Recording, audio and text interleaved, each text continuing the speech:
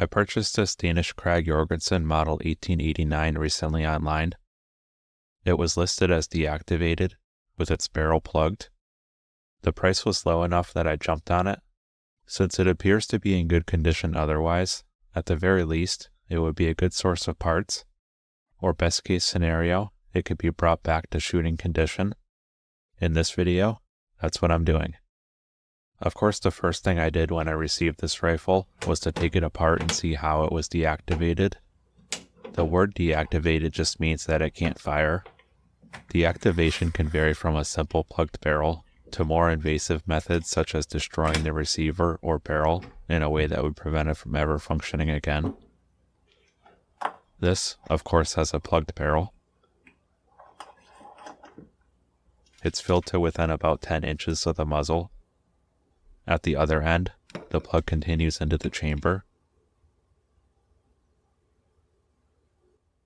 I'm able to scratch it easily, which tells me that it's lead.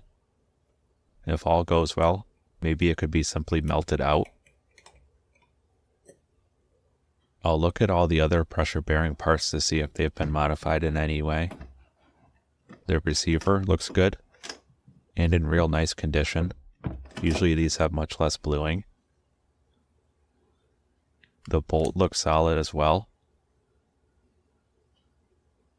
And it's functional. The tip of the firing pin is intact, something that's usually cut on a deactivated rifle. The real secret lies underneath the barrel jacket. It unscrews easily.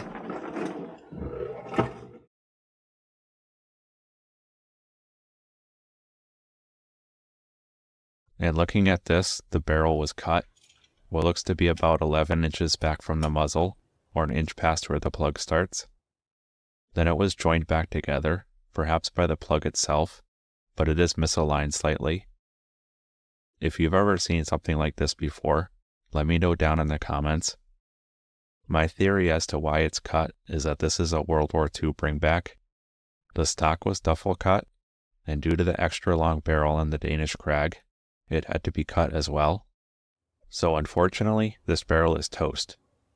However, over the past few years, as a part of my general love for Krags, I've bought uncommon parts as they become available. That includes not one, but two receivers, and a complete barrel assembly, including the jacket, sights, and an intact barrel. My plan is to replace the barrel on the rifle with this one, but if it doesn't index properly, I can try some combination of the receivers. To get started, I'll take all the extra parts off of the receiver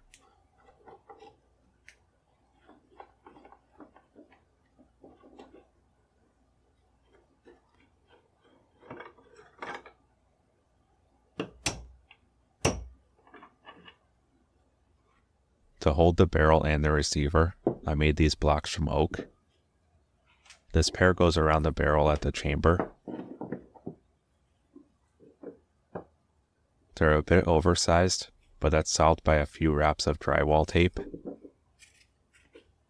This block is cut to fit the receiver, with the lug fitting in here, like so.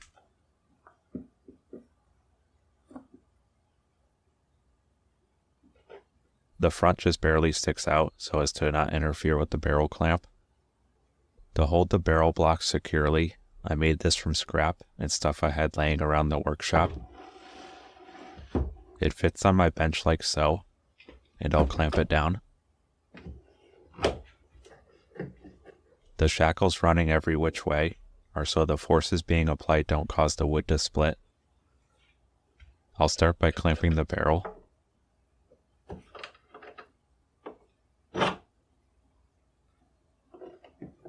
But first I need to make sure to slide on the receiver block.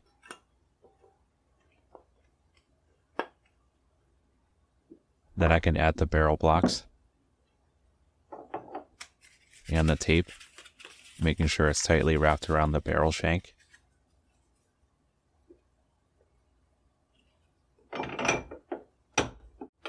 And then I'll really crank down on the bolts.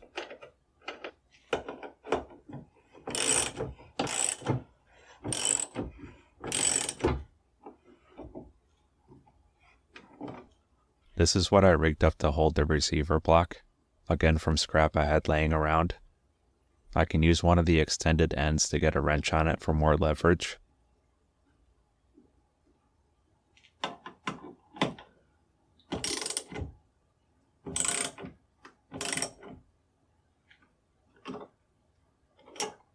While not an ideal setup, I'll see if I can get it to break free with this pipe wrench.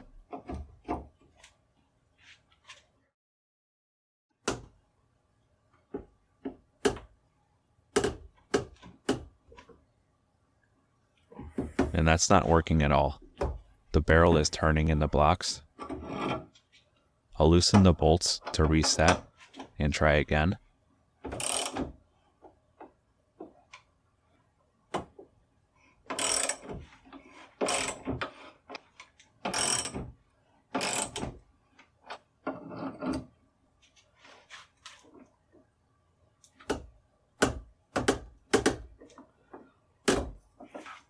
Same thing. It's spinning some more. The blocks don't have a good enough grip on the barrel. I'll reset once more, but this time I used a fresh piece of drywall tape and sprinkled some gym chalk around the barrel.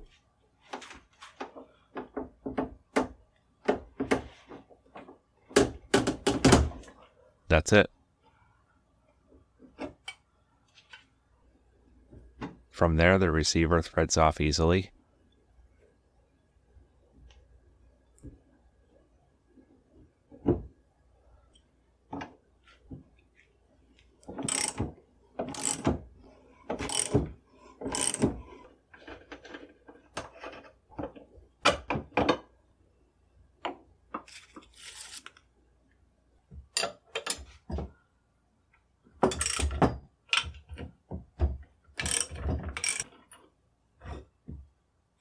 The receiver looks good, just like the other two. In preparation for the new barrel, I'll clean any old oil off of the threads of the receiver.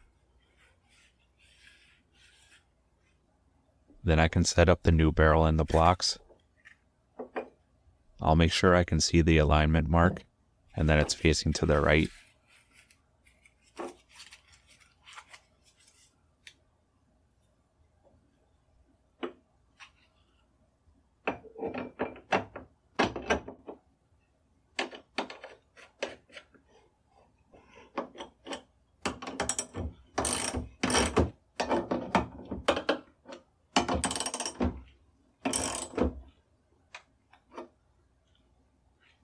I'll add a small amount of anti-seize to the threads, spreading it around evenly so there's a thin coating.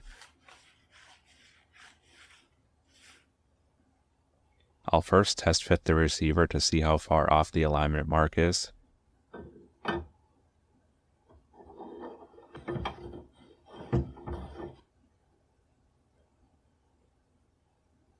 It needs to be about 180 degrees from here. I can see there's room for it to thread on more. Hopefully I just need more leverage for that last half turn. I'll set the receiver in the block. I want the front sticking out slightly, just enough so I'm able to see the alignment mark.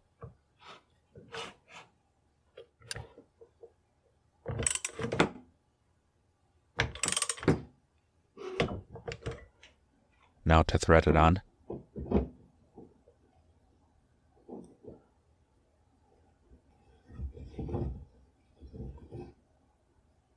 This is about how far I got before. The clamp allows me to screw it on further. And this is how far I can go by hand. With a wrench, I'll slowly approach aligning the marks.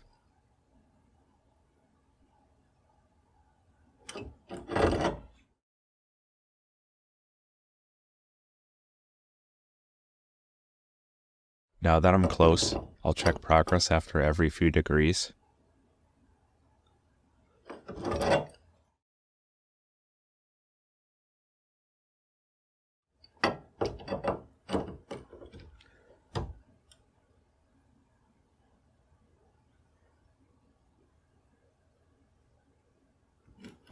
And that's it. Getting down at their level, I can see that the marks are well aligned. Now I can disassemble this setup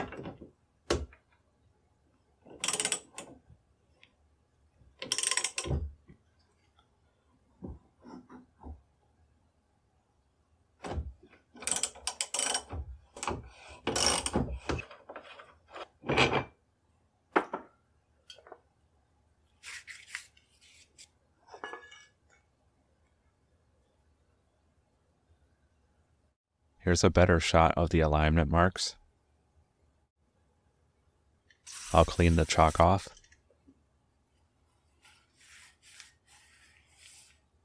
Next, I'll test fit the bolt. This number at the base of the bolt handle I think refers to the headspace. More on that in a bit, but first I'll check to see if the bolt body fits and will close all the way.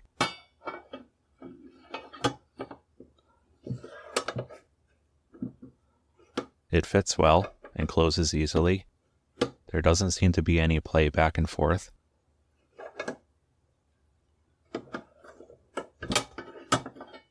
Now I'll check with the bolt internals added.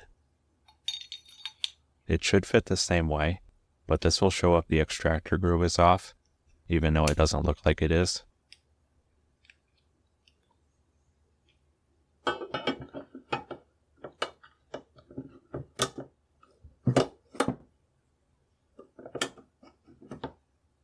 Fits well, same as before.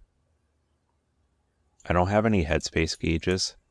The 8x58R Danish is a rimmed case, so it's not critical.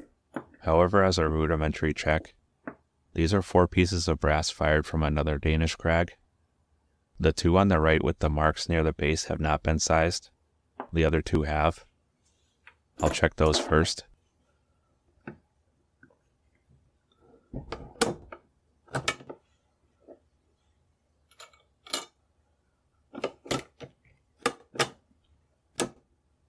The bolt is able to fully close, with just slightly more resistance than without a casing. I'll double check. And this one feels the same. Next, I'll chamber the unsized cases.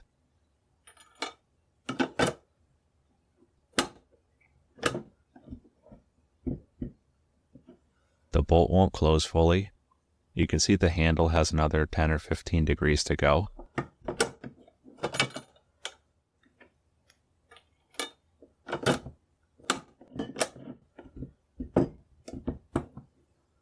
The second round is about the same. These tests only show that the chamber depth isn't excessive, swallowing brass that's been sized to another rifle. Headspace on a rimmed cartridge is measured by the thickness of the rim. Here I took the sized brass and added tape to their bases, one and two layers, each of which are about 5 thousandths thick. First, the one layer. The bolt is just a few degrees from closing all the way. If I had better leverage, I'd be able to fully close it.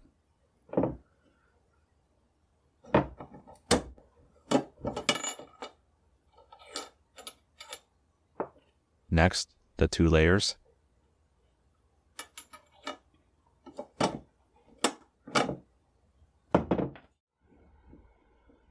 The bolt handle doesn't want to close anymore. It's the same amount from closing as it was with the unsized brass. Since it's not closing all the way, this tells me that the headspace isn't excessive. Like I said, headspace is less critical on rimmed rounds. Since the sized brass fits, and the bolt feel is nearly identical to my other Danish Krags, I'm confident that it's safe. Now, to reassemble the rifle.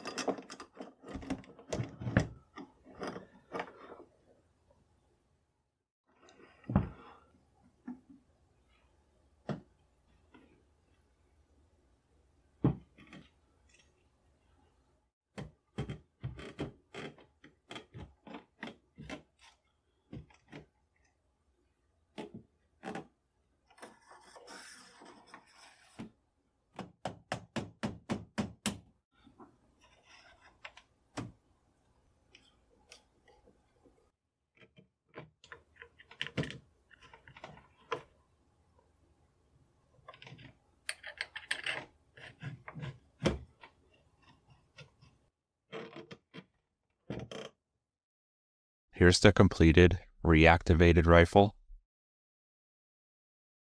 There's only one tell, the small portion of the barrel between the receiver and the barrel jacket that's exposed. The finish doesn't match. And on the other side, the serial numbers don't match, while they do on the rest of the rifle. There is one more thing to do, and that, of course, is to shoot this rifle. I'll start off by loading one round. These are reloads, of course, though they're not downloaded. I'm using the same charge that I shoot in my other Danish Krags.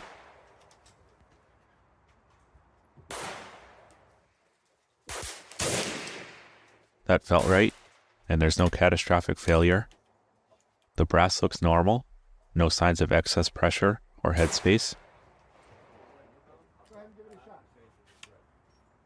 Now I can load a full magazine. I'm only shooting at 50 yards. I mostly want to test how well everything is functioning. Next time, I'll get a proper rest and shoot for groups at 100 yards.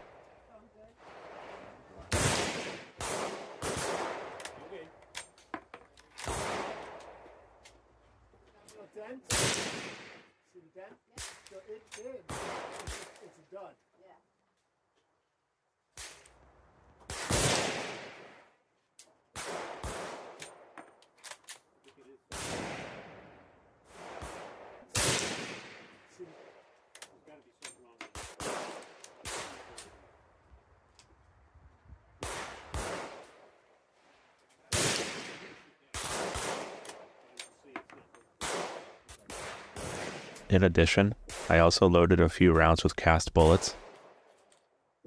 I'm testing how they shoot, in addition to how well they feed, which seems to be working well.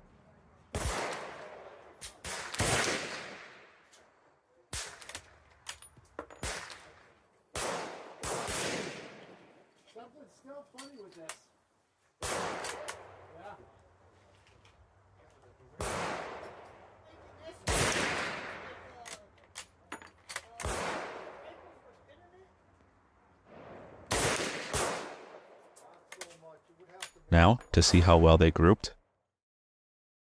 Looks like I need to adjust the windage. I aimed at the bottom of the target when shooting the jacketed rounds. That probably wasn't necessary since they impacted only a few inches high. The cast, I aimed dead center, and they're a bit low. I still need to develop a proper cast load, but this isn't a bad start. That's all for this video. I'm happy with how I was able to bring this rifle back to life. Deactivated, no more. Thanks for watching.